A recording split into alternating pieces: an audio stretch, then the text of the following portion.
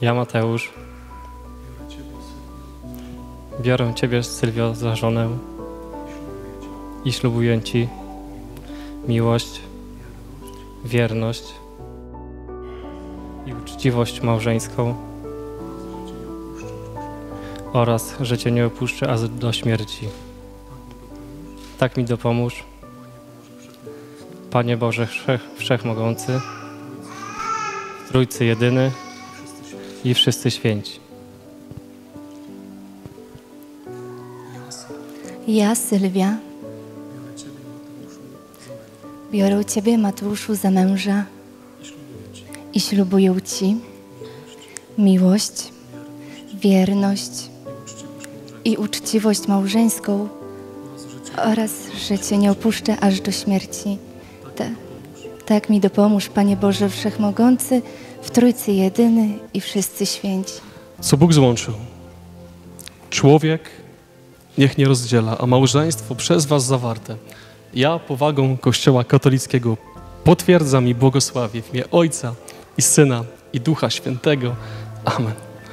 Ucałuj żonę. Wielkie brawa dla nich.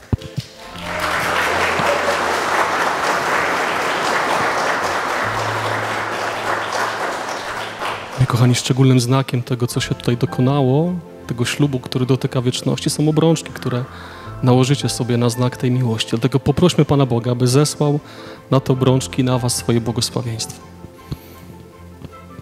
Boże, pobłogosław i uświęć Twoich poddanych, którzy się miłują, a te obrączki oznaczające wierność, niech pobudzają ich do wzajemnej miłości przez Chrystusa, Pana naszego.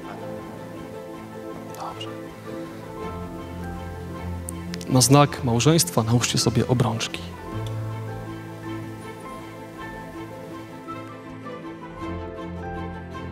Sylwio, przyjmij tę obrączkę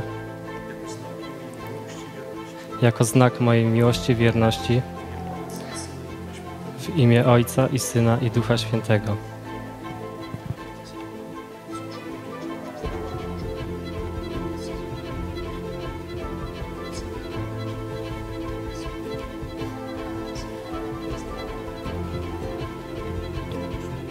Mateuszu, przyjmij tę obrączkę jako znak mojej miłości i wierności w imię Ojca i Syna i Ducha Świętego.